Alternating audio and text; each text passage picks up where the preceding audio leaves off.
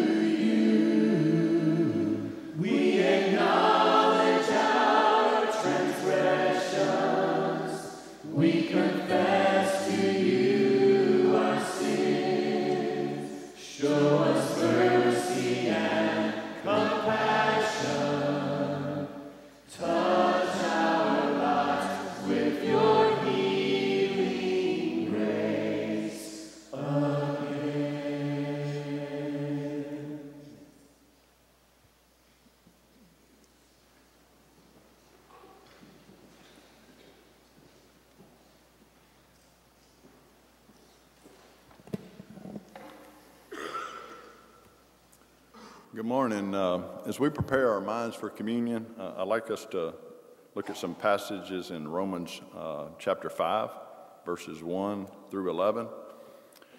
Uh, before that, though, Paul is talking to us about that Abraham believed in God in chapter 4, and it was credit to him for righteousness.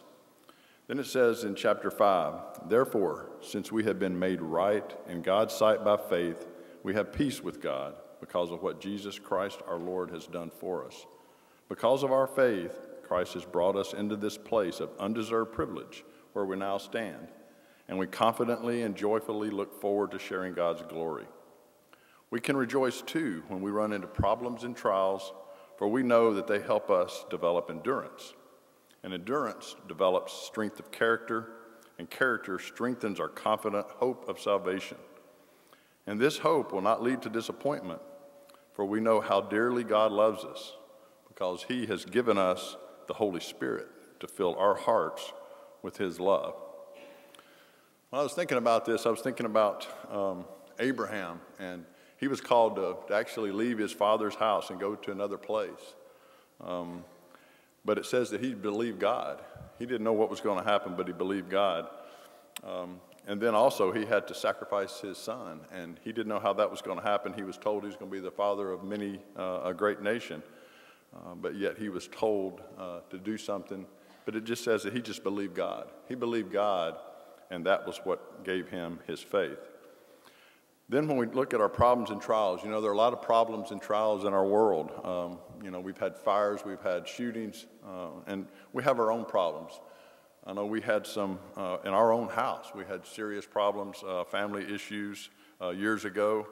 And I can say that through the Spirit that we have developed endurance because of that. And, um, and, and I'm, I'm uh, you know, even right now, just the past few months, I've had some anxiety, uh, some issues that I just don't understand why it's happening. But by the same token, I just believe God. I've learned uh, because of the other things and because of what the Scripture says and because of Abraham that even whatever we walk through, we just believe in God. So that's uh, given us hope, and we're thankful for that Holy Spirit. So I'm going to go ahead and pray uh, now as we get ready to take our communion. Lord, we just come to you and we're so thankful, Lord, for your deliverance of us and for your uh, great love you've had for us, send in Jesus. Uh, Lord, just to make our faith possible, to give us uh, the ability to be made right in your eyes. Father, we know that we go through struggles every day, and Lord, we know all of our friends and families do, as well as those in our world. And Father, we just pray for them. We pray for them to just believe God and uh, trust in Him for all that, uh, all that we do. And we're thankful for Jesus and His sacrifice at this time. And Father, help us be mindful of that as we uh, take this bread. And We ask this in Jesus' name. Amen.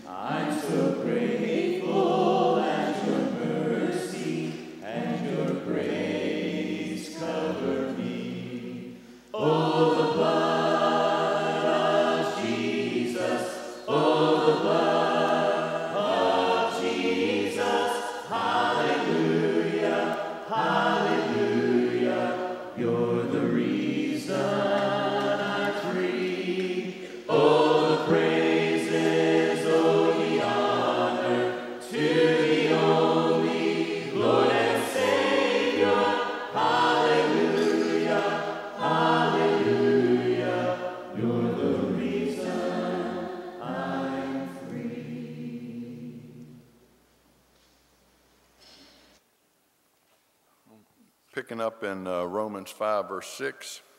When we were utterly helpless, Jesus came at just the right time and died for us sinners. Now, most people would not be willing to die for an upright person, though someone might be perhaps willing to die for a person who's especially good. But Jesus showed his great love for us by sending his son. Uh, God said, showed his great love by sending his son Jesus to die for us while we were still sinners. And since we have been made right in God's sight by the blood of Christ, he will certainly save us from God's condemnation. For since our friendship with God was restored by the death of his Son while we were still his enemies, we will certainly be saved through the life of his Son. So now we can rejoice in our wonderful new relationship with God because our Lord Jesus Christ has made us friends with God. Let's pray. Father, we're just so thankful again for the sacrifice uh, of your Son for you uh, being willing to do that for us and loving us so much. And then, Lord, for him to be obedient to do that. Thank you for uh, Jesus. Thank you, Jesus, for doing that for us. And again, Father, we thank you for your Holy Spirit that uh, you've sent to us, uh, Lord, to teach us to uh, persevere through trials, to persevere through our mistakes, and Father, just to be right in your sight. And Lord, we're so thankful that we can have that relationship with you now because of Jesus. We ask all these things in his name. Amen.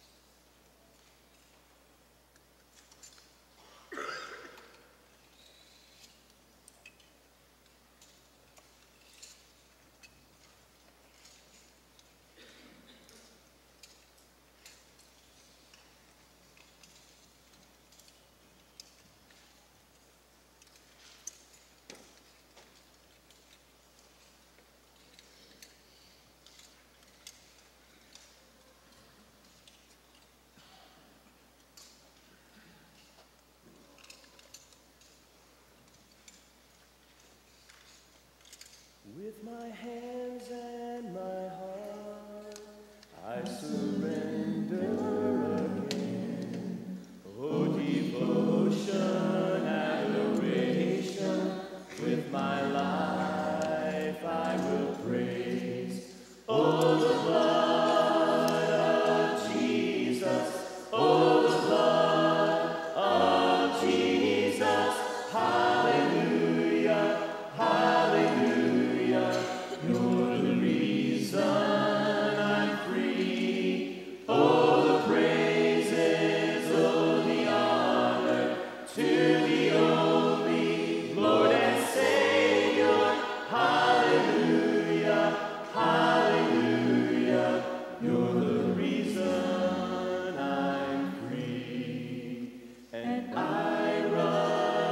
run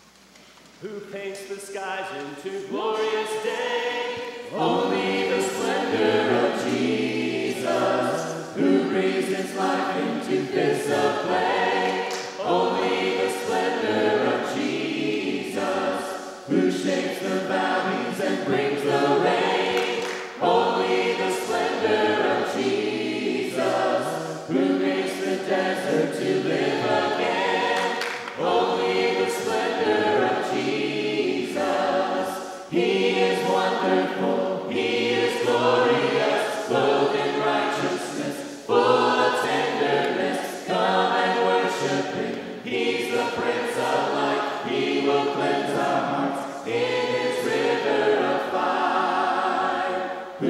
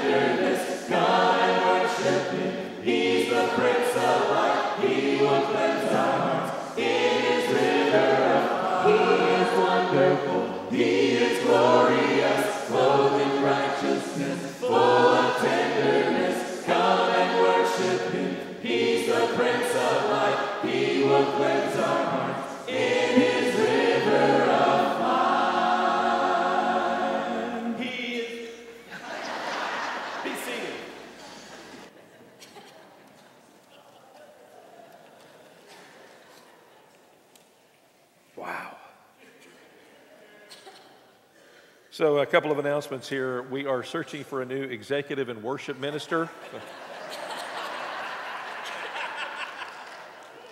It's been a good run, buddy.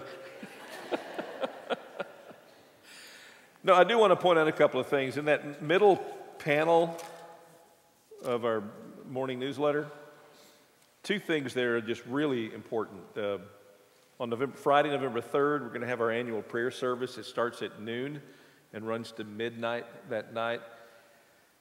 And we, we really want you to sign up to come and, and pray for an hour in that period, or for 30 minutes, or however long you can do it, uh, sometime between noon and midnight.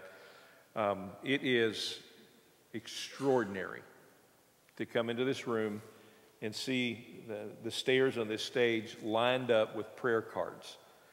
And you just grab a handful of them and you go sit down out here somewhere or walk around, whatever you want to do, and just lift up those concerns. Uh, last year, when Lisa and I came over and, and did this, we were both just in tears uh, about what we were praying about. And it, and it, it, it was, we were kind of hit with how heavy some of it was, but we were hit with also how joyful and glorious some of it was. So it's a, it's a very powerful thing for you to do, and I really want to urge you to put that on your calendar and be a part of that, that weekend. Also, fill out your prayer cards. You don't, you don't have to put your name on it. Uh, just fill out a prayer card, and, and you can say anything you want to say on that prayer card, and people in this church will be praying about it, and God will hear and God will answer. So that's coming up November 3rd. And then the very next day, on the 4th, this is, uh, this is really neat. We've got an Aging Well Ministry Fair. It's going to run from 8 a.m. to noon. And basically, down in the, in the fellowship hall, we're just going to have uh, stations set up with various people who can talk to you about your concerns about aging and talk to you about resources that are available and answer questions that you may have. We'll have some experts in the field here to help you with that. So if you are approaching some uh, a season in your life where you have some concerns, or if you're caring for somebody that is struggling with those concerns, it's a great day for you to come and just be a part of this. I think we're even going to have some teenagers at a table to help you with your cell phone. I think that's actually going to be a thing. So it would be good. So we're in a series right now in the book of Daniel called Even If. Even if comes from a story sort of in the middle of the section of the book we're looking at, uh, chapter 3, where three young men are threatened with a, a fiery death if they don't bow down to an idol that King Nebuchadnezzar, the king of Babylon, has built. And, and they, they're, they're polite, but they're very upfront. They just tell him, Look, we're not going to bow down to your idol. Our God will deliver us. But even if he doesn't, we are going to be faithful to him. We will not bow down to your idol. And of course, God does deliver them, but it's a, it's a wonderful image, it's a powerful story. So we're in that book this morning, Daniel, the book of Daniel, and we're in chapter 5 today. You may have heard of the Spanish philosopher, poet, novelist George Santayana. Even if you haven't, you will know his most famous quote. Gonna, in fact, I'm just going to give you the first seven words and you just finish it out loud, okay? Here we go. Those who do not remember the past, apparently some of us don't remember the past. Uh, you got it, are destined or doomed or condemned to repeat it. Here's another one that may not be near as familiar, uh, but is just as true. It's from an Uruguayan author named Eduardo uh, uh Galeano. And he said, History never really says goodbye, history says, see you later. And my favorite quote about history, though, comes from a, a German philosopher named Friedrich Hegel. He said, The only thing we learn from history is that we do not learn from history. That could actually be the subtitle of the book of Daniel because through, through the first six chapters of the book, we meet three different kings over a 70 year period who seem to be stuck in an ancient version of the movie Groundhog Day. Things just, the same things just keep being repeated over and over and over. But in Daniel, the day when somebody gets it right never seems to come. So we're, we're in chapter 5 this morning, and as we're just going to walk through this story. And as we do, I'm going to work in details from non biblical historical sources, which is really kind of interesting because the details provided by the non biblical historical sources uh, provide interesting background to and confirmation of the biblical account. So let me just start with a plot summary of Daniel chapter 5. Here it is A Babylonian king holds a big banquet with 1,000 of his closest friends. They're celebrating a pantheon of gods when suddenly a supernatural phenomenon uh, puts the brakes on the festivities. The king is mystified, the king is troubled, the king is terrified. He doesn't know what it means. He summons his usual advisors, and none of them can explain what has happened. Finally, somebody says, Hey, let's call Daniel. And so Daniel comes in. Daniel interprets the dream. Daniel, it's bad news for the king, and Daniel is given a great reward for his wisdom. Now, if that sounds familiar, that's because that's the basic plot summary of Daniel chapter 2 and of Daniel chapter 4, and now again in Daniel chapter 5. Daniel is kind of like the song that this is the song that will never ends. Remember that song when you were a kid, right? Some of you will remember 99 bottles of beer on the wall. Daniel is like that, all right? It just keeps going on over and over and over. The more things change, the more they stay the same, which is probably why we should pay attention to history. So let's go back. I don't know what you were doing Friday, but this past Friday, I was celebrating the 2556th anniversary of the fall of Babylon. On October 13th, 539 BC, a Persian named Cyrus, they called him Cyrus the Great, uh, conquered the scientific and cultural center of the ancient world, Babylon. And, and according to a number of accounts, how he did it is really interesting because the city, Babylon, was virtually impregnable. Its walls were said to be four stories tall and so wide they held the 6th century BC version of Talladega on the walls. They had chariot races on the walls. So if you went off the rails, you fell 40 feet to your death. Actually, you fell 40 feet into an enormous moat that snaked its way around the city. Cyrus had successfully conquered all of the surrounding region, but, but when he got up to the great fortress of Babylon, he stalled. And the powers that were in Babylon had known that he was coming because you can't really hide the fact that you've got a massive army marching toward you. And so they stockpiled uncountable provisions for what they anticipated would be a very long but ultimately unsuccessful siege. You know what a siege was, right? A siege, you had a fortress, and the siege was the, the invading army would come and just surround you and then just camp. They'd just camp and wait until you ran out of food and water. And when you ran out of food and water, you'd come out. So Cyrus blazed the city to siege, But they're not worried because they've got all this food. And one of the greatest vulnerabilities for a city under siege is running out of water. But that's not an issue for Babylon because the Euphrates River flowed right through the middle of it, providing all the water and all the fish they would ever need. And they had iron, iron grates, iron grates that were submerged beneath the wall into the water so that nobody could swim in. So they were, they were solid. Cyrus is stuck, which is probably why, according to Daniel chapter 5, verse 1, Belshazzar, the king, felt confident enough to host a grand banquet for a thousand of his nobles. Now, here's, here's Daniel's description of it in Daniel chapter 5, beginning in verse 2. Okay, we move, kind of move out of secular history into biblical history. While Belshazzar was drinking his wine, he gave orders to bring in the gold and silver goblets that Nebuchadnezzar, his father, when it says his father there, that doesn't mean his dad, that means an ancestor. Nebuchadnezzar was a couple of generations back from Belshazzar. He was a predecessor of his several decades back.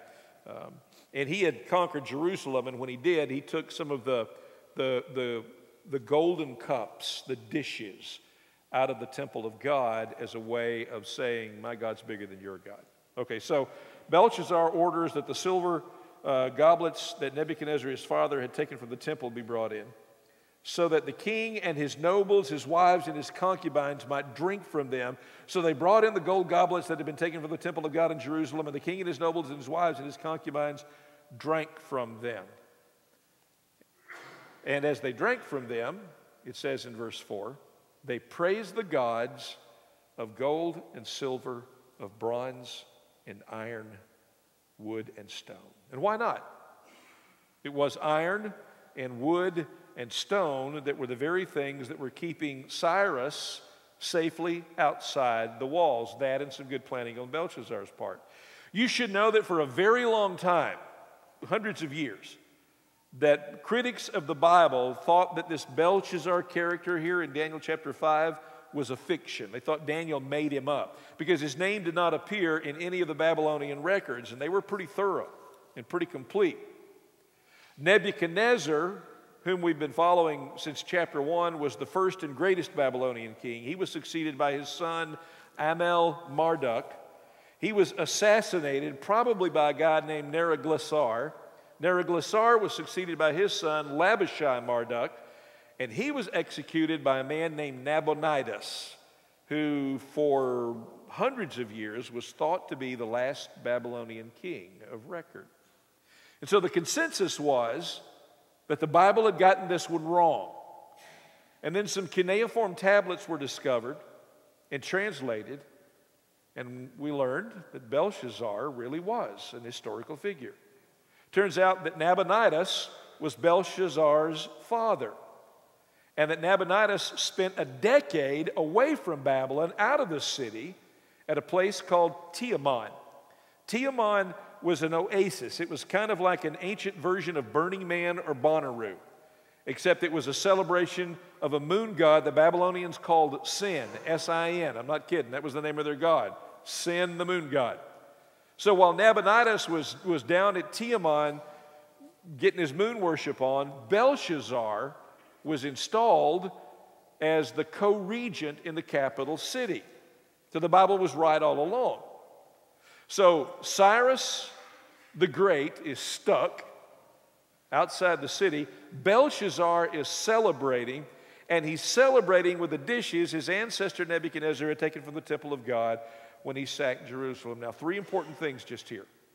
First of all, secular history says that Cyrus attacked Babylon during a religious festival, which is exactly what Daniel 5 says is going on. They're having a religious festival. They're celebrating to the gods of wood and iron and gold and stone and silver. That's exactly what the Bible. So secular history and scripture agree with that. Second of all, Belshazzar knew the history behind those dishes that he ordered be brought in for them to celebrate with, the, the, the, golden goblets. He knew that they were from the temple, the temple of the God of the Jews. He had heard the stories about his predecessor had decades earlier, before he was even born, conquered an obstinate Jewish nation and taken those treasures from the temple, and he knew what that meant. That was Nebuchadnezzar's way of saying, Our God wins. And then, third, by ordering his servants to bring those goblets to his party and using them to essentially hold a communion service to the gods of gold and silver and bronze and iron and wood and stone, he was doubling down on his predecessor's sin. He was using the things of God for the purposes of propaganda. Nebuchadnezzar and all his successors had apparently considered those objects too sacred to spoil, but Belshazzar didn't have those qualms. Which makes you wonder if he knew the history of those temple dishes, surely he had heard all of the other stories about his ancestor Nebuchadnezzar, about his troubling dreams and their interpretations, about the 90 foot tall idol that he had built, and the fiery furnace, and the three young men who had survived it, and the fourth who shined like a son of the gods in the middle of the fire. And surely he had heard about the season of insanity when Nebuchadnezzar had been dri- driven out of the palace and out of his mind and lived out in the woods like Bigfoot or an orangutan or a mixture of the two until he acknowledged that the Most High God of the Hebrews, that the God of the Hebrews was the Most High sovereign over the kingdoms of people, and that he gave those kingdoms to whomever he wished, and that he did as he pleased, and that no one could hold back his hand. Surely Belshazzar had heard all of those stories. Maybe Hegel was right. It's not a failure to know history that condemns us to repeat it, it's a failure to learn from history that condemns us to repeat it. So Cyrus is trying to figure a way into the city. And Belshazzar is about to learn an unforgettable lesson as he drinks from God's golden goblets. And this lesson that he's going to learn is so memorable that to this day, phrases from this 2,500 year old event pepper our language, phrases and concepts. Have you ever heard somebody say, I saw the writing on the wall? Or, his days are numbered. I heard that on ESPN yesterday talking about a particular SEC football coach. Have you ever heard somebody describe a politician as a lightweight? All of those phrases and ideas come from this story. While they're celebrating with God's goblets, a, a disembodied hand, this is perfect for October, isn't it? A disembodied hand appeared and began to write on the white gypsum walls. Verse 5 says that, oh, I just noticed this, this the week. I never noticed this before. Verse 5 says the hand wrote near the lampstand. Kind of makes sense, doesn't it? Because that way everybody can see. Verse 6 says, Belshazzar's face turned pale and he was so frightened that his legs became weak and his knees were knocking. That last part, weak legs, knocking knees, that's a Hebrew idiom. Doesn't really mean that his knees were knocking. It means that he lost control of his bodily functions due to excessive fear. He had to change clothes. Just like his forefather. He calls for the pagan advisors who once again offer no help whatsoever. Moments earlier, the room was buzzing with the sound of clinking glasses and the sloppy celebration of people who've had too much to drink, and now it's buzzing with fear and confusion. And the change in tone was so obvious and so dramatic that the Queen Mother herself comes into the party to see what's going on.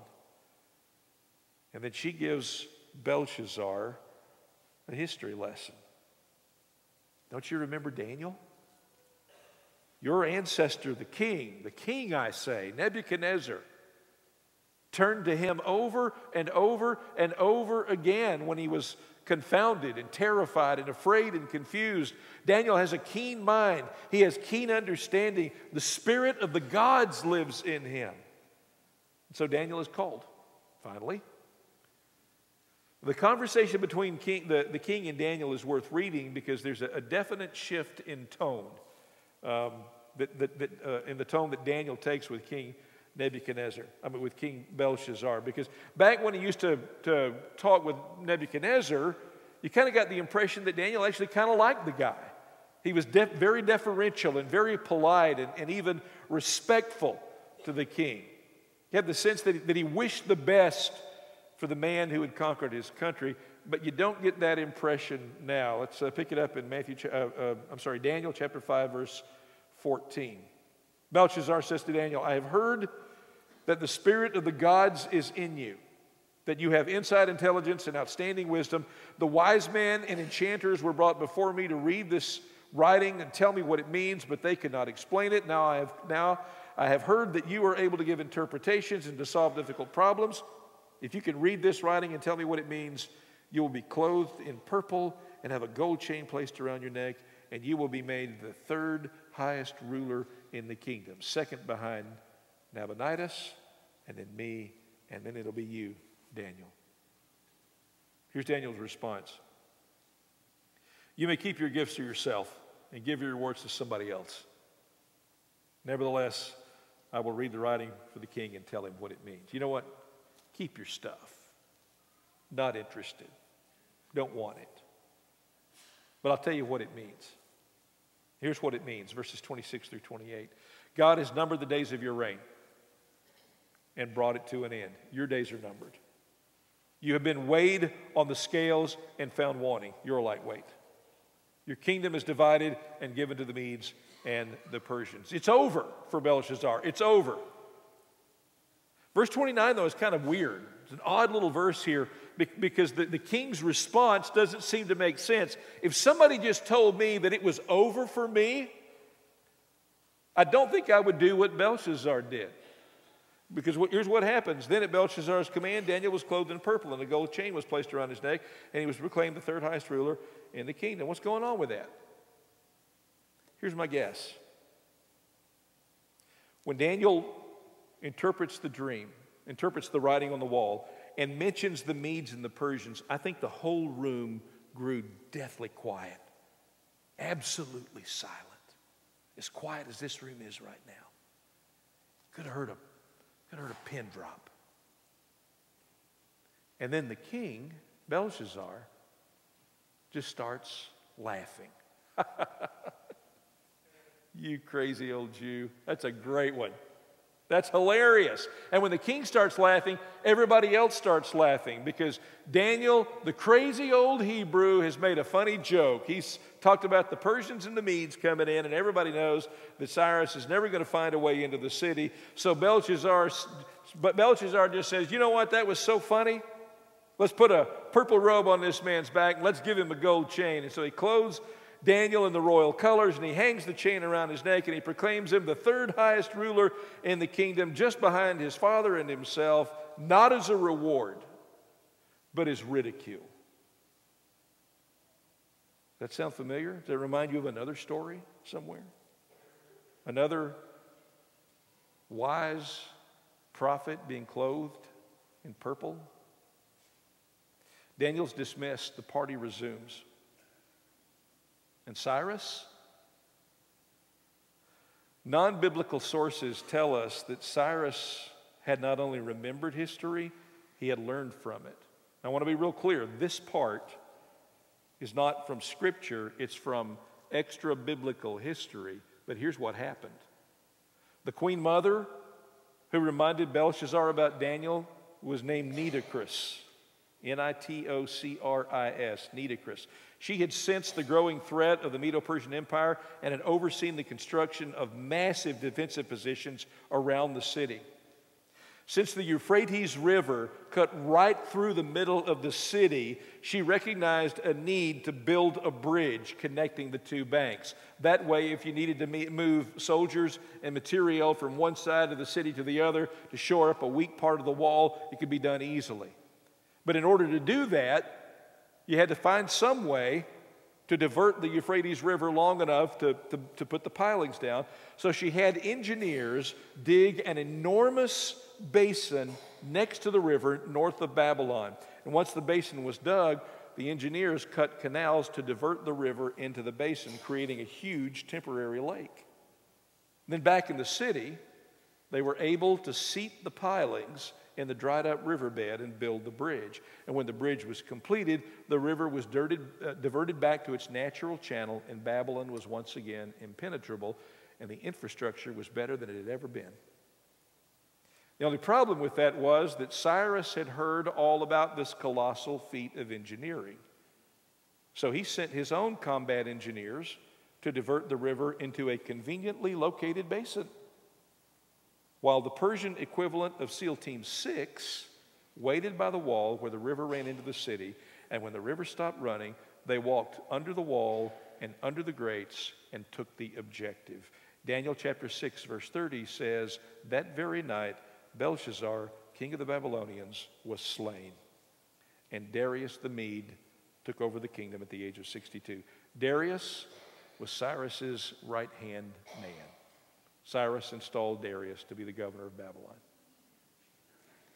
Daniel chapter 5 is a history lesson about how some people do not learn from history. Like Belshazzar, some people hear the stories, they get a front row seat to witness how certain decisions lead to certain results, how outcomes follow actions, how effects follow cause, and they think that can never happen to me.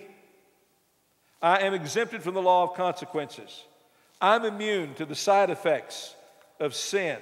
I can handle the hangover. I can walk the same path those poor slobs walked, but I will reach a different destination. And we never do. We never do. Galatians 6, Paul put it bluntly do not be deceived. God cannot be mocked. A person reaps what they sow. Whoever sows to please their flesh, from the flesh will reap destruction. Whoever sows to please the Spirit, from the Spirit will, will reap eternal life. In Numbers chapter 32, Moses told the tribesmen of Reuben and Gad, Be sure your sins will find you out. In the very first psalm, the psalmist warned, The way of the wicked leads to destruction. That's the way it works. Now, we talk a lot more about grace than we talk about sin here at Twickenham, as we should. But if you are living your life in an it can't happen to me kind of way, please, just please. It can happen to you. It will happen to you. It always happens when we pursue sin. I'll tell you something else that can happen to you. The, the, the, repercussions of sin can happen, but so can the rescue of grace. See, some folks think the aftershocks of, sh- uh, of sin will never shake them, never, never shake their lives. They think it can't happen to me. Then there are those who are living with the fallout, who are living with the aftermath, the blowback, and some of them maybe some of us, maybe you think, it can't happen to me. Grace can't happen to me. I have wandered too far. I have waited too long. I have wounded too many people. I have become so identified with my sin that it has practically become my name. When people think of me, they think of my sin. Me and my sin are the same. I stand in front of you today as testimony that grace can happen to you. Grace will happen to you. Sin is strong, grace is stronger. You may feel like sin and consequences have your number so much that they have become your name. I want you to listen to the song that we're about to sing. Because this song encapsulates some of the most precious promises of Scripture. God can change you, and God can change your name. Let's stand, let's sing together.